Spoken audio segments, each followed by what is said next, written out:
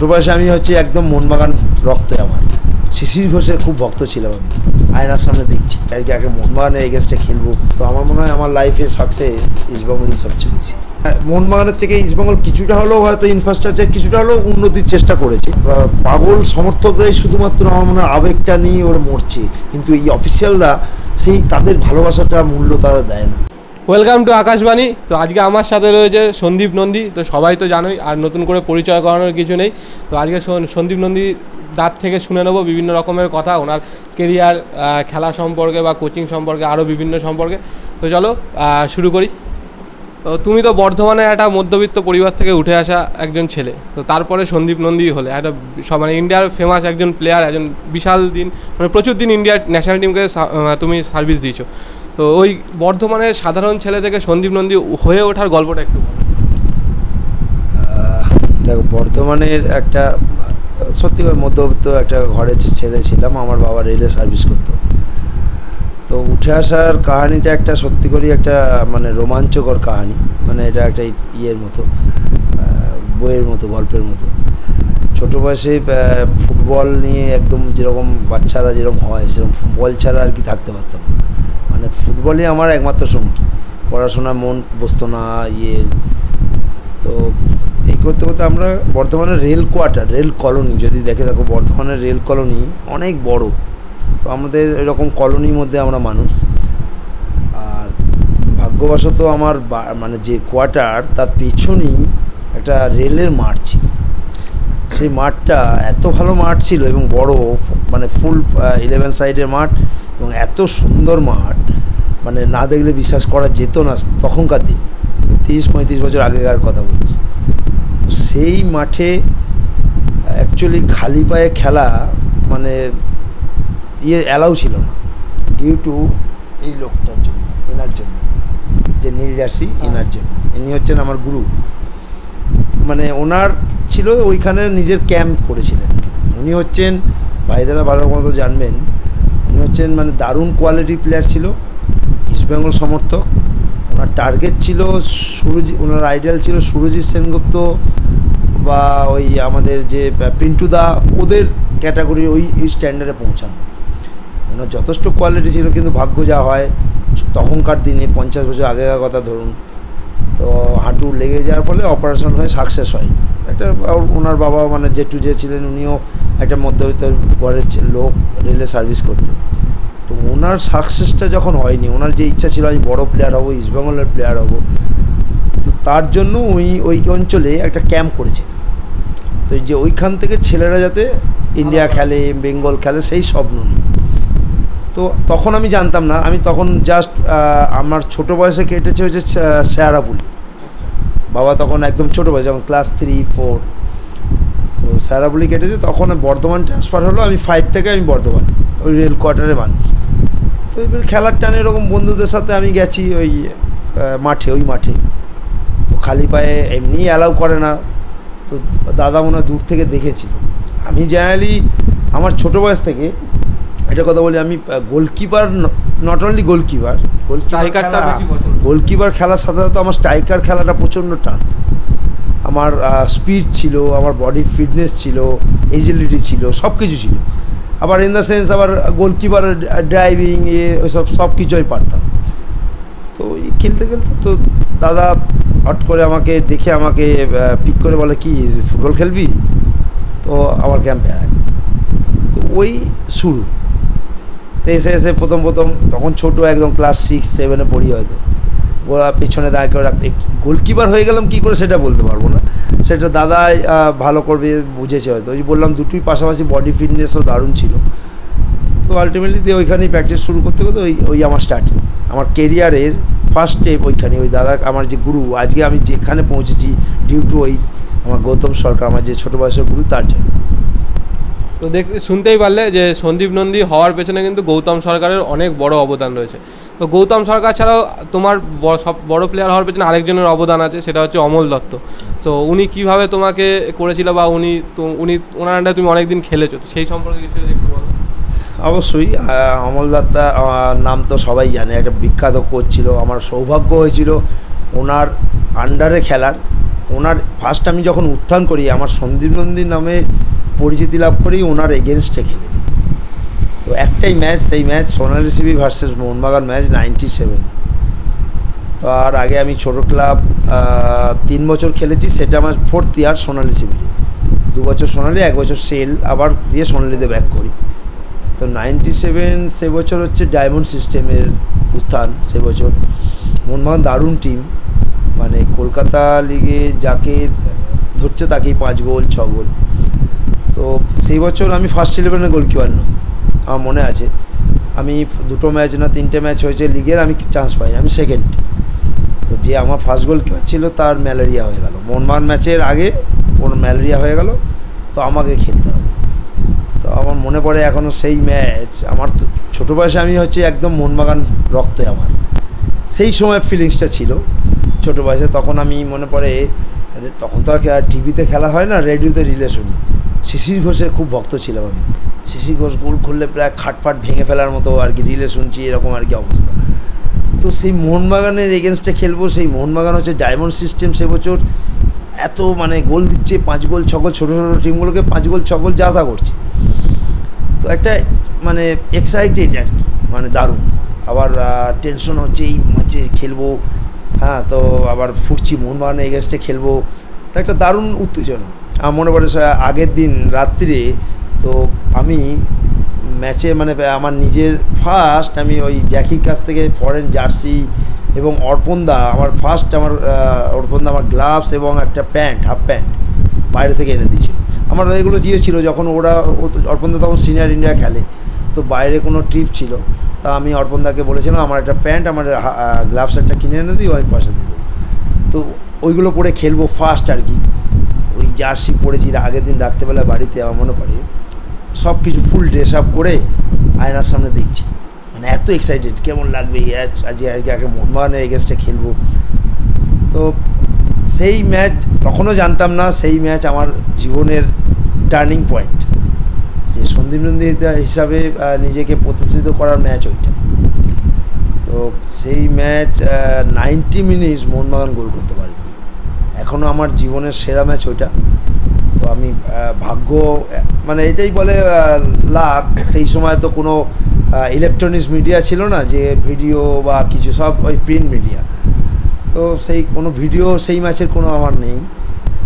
Ninety minutes বাসুদা তখন কে ছিল না? সত্যি চ্যাটার্জি, চিমা ওকারি রোশন পেরেরা বলে শ্রীলঙ্কা স্ট্রাইকার, আব্দুল খালেক, দীপেন্দু বিশ্বাস, বাসুদেব মণ্ডল, দেবজিৎ ঘোষ, সাংঘাতিক টিম মানে দারুণ।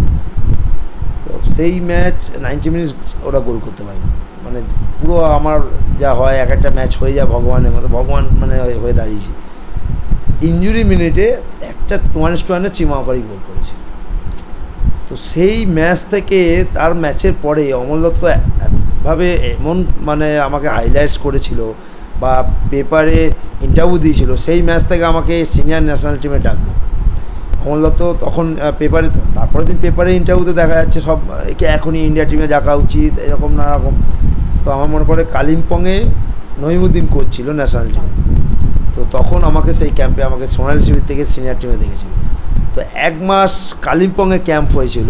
মানে দারুণ, সেই সময় নইমুদ্দিনে প্র্যাকটিস মানে সারাদিন প্র্যাকটিস আর ওখানে ঠান্ডা ওয়েদার প্র্যাকটিস হয়েই যাচ্ছে। আর করে আমার সময় ছিল হেমন্ত রোড়া আমি, সুমিত মুখার্জি, আর জুজে সিদ্ধি বলে গোয়ার একজন চারটে গোলকিপার ছিল। মাঝপথে হেমন্তটার হাঁটুতে লেগে গেছে ও বাড়ি চলে এলো। তখন ভাবছিলাম যে এই প্রথম হয়তো হয়তো ইন্ডিয়াকে তিনটে গোলকিপারই আছে। এবং যথেষ্ট ফিট তখন আমি। তো ভাবছি এবার হয়তো চান্স পাবো। কিন্তু না, সেবার চান্স পাইনি। আবার কেরালা থেকে একটা টাইটেনিয়াম বলে একটা টিম ছিল, রাজীব কুমার বলে গোলকিপারকে নিয়ে এসছে। তো আমাকে আর না হয়নি।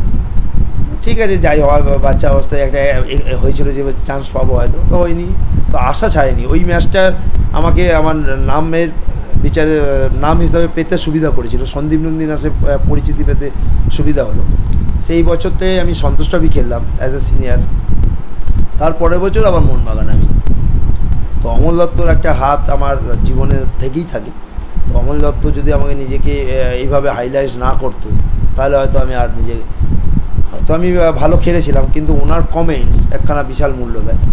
ওনার কমেন্টসই একটা ইন্ডিয়া টিমে ডাকা এটা এটা একটা প্রচুর আমার জীবনে অমূলত হাত এটা প্রচুর আছে। তো উনিশশো নিরানব্বই তারপর তুমি মোহনবাগান টিমে চান্স পাও। উনিশশো আটানব্বই। পরের হ্যাঁ তো প্রথমবার যেবার চান্স পেলে তার পরপরই তুমি মোহনবাগানের হয়ে ন্যাশনাল লিগ জিতেছিলে। নাইনটি নাইনে হ্যাঁ তো সেই এক্সপিরিয়েন্সটা কি? মানে তোমার পছন্দের ক্লাব যেই ক্লাবকে সমর্থন করতে ছোটোবেলা থেকে সেই ক্লাবের সুযোগ পাওয়া এবং ন্যাশনাল লিগ জেতা সেগুলো? তো নাইনটিন এইটে যখন চান্স পেলাম সেই বছর হয়তো খুব বেশি খেলিনি। প্রথমে দু একটা কলকাতা লিগে ম্যাচ খেলেছিলাম। আর আমার মনে হয় লাস্টের দিকে সেই বছর মোহনবাগান ন্যাশনাল লিগে ভালো রেজাল্ট হয়নি। তো লাস্টের দিকে দু, তিনটে ম্যাচে চান্স পেয়েছিলাম। যখন ওখানে কোনো গুরুত্ব ছিল না ম্যাচগুলোর কিন্তু আমার পারফরমেন্স ভালো হওয়ার ফলে আমার কন্ট্যাক্ট রিনিউ হলো এবং আমি একটু বেশি কিছু পেমেন্ট পেয়েছি আমার মনে হয়। তখন হেমন্ত রায় খেলছে ফার্স্ট গোলকিপার তখন হেমন্ত রায় লাস্টের দিকে। তারপরে বছর মনে হয় বাবলুদা এলো। বাবলুদা এলো এবং সেই বছর ব্যারোটোর সেই বছর টিমও দারুণ, ইগর, ব্যারোটোর শিবেন তিন ফরেনার তো সেই বছরও আমি ফার্স্ট চয়েস নয়, আমি সেকেন্ড চয়েস যেহেতু ডোরাদা রয়েছিল। তো আমার মনে পড়ে ওই ন্যাশনাল ন্যাশনাল লিগে দু তিনটে ম্যাচ মনে হয় হেমন্ত দা শুরু করেছিল। কিছু একটা হয়েছিল, পাঞ্জাবের লুধিয়ানায় মনে হয় জেসিটির এগেনস্টে কি একটা হলো, দিয়ে আমাকে শুরু করালো। দিয়ে হেমন্ত দার সঙ্গে বাবলুদার কিছু একটা হলো, ও চান্স পেল না, এবার আমি ওই কন্টিনিউ শুরু করলাম। তো ওই ফার্স্ট আমি যখন নিজের চান্স পেলাম ন্যাশনাল লিগে ওই খেলে আমি মানে কন্টিনিউ করে এবং সেই বছরই আমি ন্যাশনাল লিগ জিতলাম। আবার সেই বছর আবার এমন দুর্ভাগ্য, আমার মনে পড়ে ত্রিবান্ধমে এসবিটির সাথে ম্যাচ ছিল। আমাদের তিনটে ম্যাচ বাকি ছিল মনে হয় তখনও। বড় লাস্টে বড় ম্যাচ ছিল। কিন্তু ওই ম্যাচ আমরা জিতে আমরা অলরেডি ন্যাশনাল লিগ চ্যাম্পিয়ন হয়ে যাব তিনটে কি চারটে ম্যাচ থাকবে? সেই ম্যাচ আমরা চার গোলে লিড করছি। ত্রিবান্ধমে মানে সেই মাঠ এখনও দেখলে একদম লাল মাটি। তো লাস্ট হয়তো লাস্টের দিকে খেলার একদম লাস্টের দিকে। একটা ওয়ান টু ওয়ান বলে আমার সঙ্গে ইগনেসিয়াসের মানে আমি বলের উপর গেছি বল আমি বল আমার হাতে ইগনেসিয়ার বুটে টোকা দিয়ে আমার এই আলনাটা মানে ভেঙে গেছে। তো সেই মানে সেখানেই আমরা চ্যাম্পিয়ন হয়ে গেছি অলরেডি আর অর্পণদা রিজার্ভে নামলো সেই মনে পড়ে। তো সেই যে আমার অপারেশন হলো হাতের তো ন্যাশনাল লিগ চ্যাম্পিয়ন হয়ে আমার পারফরমেন্স ফার্স্ট আমি খেললাম এবং ন্যাশনাল লিগ চ্যাম্পিয়ন আমি ইন্ডিয়া টিমে কল পেলাম। বেস্ট গোলকিপার হলাম। ইন্ডিয়া টিমে কল পেলাম। আমার পরে মোহনবাগান অপারেশন করালো। হাত। দেবাশিস দত্ত, অঞ্জন মিত্র, নার্সিংহোমে পর্যন্ত গিয়ে আমাকে দিয়ে আমি তখন একদম বাচ্চা মানে ছোটো ছেলে, হয়তো কুড়ি একুশ বছর বয়স। তো আমি একটু ইয়েতে ছিলাম, কারণ লাস্টের দিকে সিজন এবারে তখন আবার কন্ট্যাক্ট হবে। তো আমার মাথায় হাত বুলে তখন বলেছে তোর কোনো চিন্তা নেই? যেরকম পারফরমেন্স করেছিস, তুই ভালো ন্যাশনালি যে তোর পারফরমেন্স অনুযায়ী তুই পয়সা পাবি। আমরা তোকে রাখব ইয়ে ওর কোনো চিন্তা নেই। তুই শুধু সেরে উঠ। ঠিক আছে। তো বাবা, হাতে অপারেশন হয়ে অপারেশন মোহনবাগানই করেছিল। অপারেশন হয়ে গেল, সব ফিট হয়ে গিয়ে প্র্যাকটিস শুরু করেছি। এবারে আমি ন্যাশনাল টিমে ডাক পেয়েছি, আমি আবার ক্যাম্পে যাব, পাতিয়ালায়। তো পাতিয়ালা ক্যাম্পে যাব আমার কেউ ডাকছে না। মানে কেউ কন্ট্রাক্টে সাইনের জন্য কেউ কথাও বলছে না, কোনো ইয়ে করছে না। আর অলরেডি তখন গোলকিপার সাইন হয়ে গেছে কল্যাণ চৌবে, বিভাস ঘোষ, রজত ঘোষ। তিনটে হ্যাঁ তিনটেই ভালো মানে বড় বড় গোলকিপার সাইন হয়ে গেছে। আমার কোনো ইয়েই নেই। আবার এদিকে বলেছিল আমাকে যে তোর পয়সা যেরকম পাওয়ার ইয়ে ছিল, তুই সবটাই পাবি, যেরকমই পাবি, কোনো চিন্তা নেই। তো আমি নিজে যেটি ফোন করলাম, যে এরকম দেবাশিস দা বা কাউকে হবে। যে এরকম ব্যাপার কি হলো? আমি ন্যাশনাল টিমে যাব তার আগে সাইন না করলে আমার কথাও বলছো না তোমরা। দিয়ে একদিন ডাকলো ক্লাবে ক্লাবে ডাকার পরে মানে যে কথা বলেছিল সেই কথার সঙ্গে কোনো মিল নেই যা হয়। না না তোর এরকম কিছু নেই তুই আমার সঙ্গে আছিস তুই নিজে শুধু ফিট হ খেল তারপর আবার তোকে পয়সা ঠিক যেরকম পাবি পয়সা পাবি। না, সেটা আবার কেমন কথা? আমি তো ফিট তো হয়ে গেছে আমি তো ন্যাশনাল ইন্ডিয়া টিমে যাচ্ছি ক্যাম্পে তো এটা আবার? তোমাদের সঙ্গেই খেলতে গিয়েই, তোমাদের জন্যই খেলতে গিয়ে হয়েছে, তোমরা যেরকম বলেছিলে হয়নি। তো আলটিমেটলি কোনো ওরা আর পয়সা কোনো বাড়ায়নি, আমার সেম পয়সায় সাইন করতে বাধ্য হয়েছিল। তো সেই বছর আমার ইন্ডিয়া টিমের মানে এন্ট্রি হলাম সে ডিবু হলো। ফার্স্ট আমি মনে ইংল্যান্ড ট্যুরের জন্য সিলেকশন হলাম। সেই বছর আমার ফার্স্ট ন্যাশনাল ইয়ে senior as a senior national কিন্তু সেই বছর আর মোহনবাগান আমাকে সেই বছর অতটা খেলায় তো সেই অর্থে সেরকম খেলতে পাইনি দু চারটে ন্যাশনাল লিগে হয়তো ম্যাগে খেলেছি, কিন্তু রেজাল্টও ভালো হয়নি। তো বাবলুদার সঙ্গে একটা কিছু নিয়ে মনোমান নিল আমি কেন মনে হয়, অফিসিয়ালকে বলেছিলাম যে, আমি এত বাজে গোলকিপার তো আমাকে সাইন করালে কেন? আমাকে আমাকে টিমের সাথেই রিজার্ভে রাখছো না টিমেই নিয়ে যাচ্ছ। ডুরান্ট কাপে টিমে নেয়নি। তিনটে গোলকিপারের মধ্যে ডুরান্ট কাপে টিমে ছিলাম। না তো ডুরান্ট কাপে ওরা মনে হয় সেমিফাইনালে হেরে গিয়ে ফিরে এসেছিল। তখন আমি বাবলুদার সামনে দেবাশিস দত্তকে বলেছিলাম আমার মনে পড়ে যতটুকু। যে আমি এত বাজে গোলকিপার তাহলে আমাকে কেন সাইন করাল? আমি তিনজনের মধ্যে চান্স পাই না। আমি তো তার আগে খেলে আমি চ্যাম্পিয়ন অলরেডি হয়ে গেছি। এই আগে ওইটা বাবলুদা বাজে লেগেছিল। যে আমি এরকম বলেছি হ্যান ত্যান ওর কাছে আমি ফিট নই, এইসব। দিয়ে এই নিয়ে একটা মনোমালিন্য হয়েছিল, আমাকে সেভাবে খেলায়নি, পরের বছরও টিমে রাখিনি। তো ওই ওখান থেকেই আমার আবার টালিগঞ্জে যাওয়া। তো ওখান থেকে আবার নতুন লড়াই শুরু করা। তো মোহনবাগান থেকে টালিগঞ্জ। টালিগঞ্জ হয়ে আসার পরে তুমি ইস্ট বেঙ্গলে আসো। তো ইস্ট বেঙ্গলে এসেও তুমি জিতেছিলে। তো সেইটার এক্সপিরিয়েন্স দুটো ক্লাবে দুটো বড় বড় ক্লাবে পরপর দু বছর দুটো লিগ ওইটা আবার দেখো ওইটা আমি তখন একটা সাধারণ গ্রামের ছেলে ছিলাম। তখন তিন বছর মোহনবাগান খেলা হয়ে গেছে। তো আমার মনে হয় তখন অত আমি এক্সপার্ট ছিলাম না এবং অত আমার জানাশোনাও ছিল না। নাহলে হয়তো আমাকে টালিগঞ্জে যেতে হতো না। কারণ তখন একটা অলিখিত চুক্তি ছিল মোহনবাগান এবং ইস্টবেঙ্গলের মধ্যে, যে মোহনবাগানের প্লেয়ার ইস্টবেঙ্গল নেবে না, ইস্টবেঙ্গলের প্লেয়ার মোহনবাগান নেবে না। কিন্তু আলটিমেটলি মনে হয় তলায় তলায় নেওয়া যেত। কারণ আমাকে যখন মোহনবাগান নিচ্ছে না, তখন আমাকে কিছু ইস্টবেঙ্গলে কেউ মনে হয় একটা ইন্টারেস্ট দেখিয়েছিল নেওয়ার জন্য। কিন্তু আমি তখন মনে পড়ে, দেবাশিস দত্তকে আমি এটাই বলেছিলাম যে, তোমরা যখন নিচ্ছ না অ্যাটলিস্ট আমাকে প্রেসে একটা রিলিজ দিয়ে দাও, যে আমরা সন্দীপকে রিলিজ করে দিচ্ছি। তাহলে ইস্টবেঙ্গলে যেতে কোনো অসুবিধা নেই। এই প্রেস মিটটা অন্তত বলে দাও। আমি এটা বলেছিলাম, কিন্তু ওরা মানেনি। ওরা আমাকে তখন বলেছিল, না, তোকে তোর তো হাত ভাঙা, তোর ফিটনেস ও ইস্টবেঙ্গল নেবে না। আমি বলছি, সেটা নেবে কি নেবে না, সেটা পরের ব্যাপার। তুমি শুধু পেপারে অন্তত এইটুকুনি মিট করো। মানে এইটুকুনি বলো। কিন্তু ওরা বলেনি। তো ইস্টবেঙ্গল ইন্টারেস্ট দেখিয়েছিল, কিন্তু ওরা আলটিমেটলি এরমভাবে হয়নি। তো বাধ্য হয়ে আমাকে টালিগঞ্জ যেতে হলো। এবং টালিগঞ্জ তখন তৃতীয় শক্তি হিসাবে প্রতিষ্ঠিত হয়েছিল। তাও সেই বছরটা কিন্তু আমি মনে করি। টিম ইন্ডিয়ান প্লেয়ার ভালো থাকলেও ফরেনার শুধু আকিম বলে একটা ইসিয়াকার ভাই যে আকিম স্ট্রাইকার ওই একটা আকিম ছিল, আর কেউ ছিল না। ডিফেন্ডার না মিডফিল্ডার একটা শুধু আকিম স্ট্রাইকার তো ওই সেই, যার জন্য বছরটা মোটামুটি গেছে। হয়তো কখনো ভালো গেছে, কখনো খারাপ গেছে।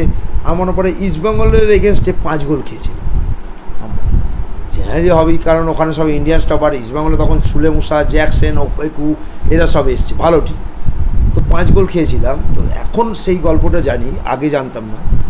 আমাকে আবার টালিগঞ্জ থেকে সুভাষ ভৌমিক আমার ইস্টবেঙ্গলে ব্যাক করে।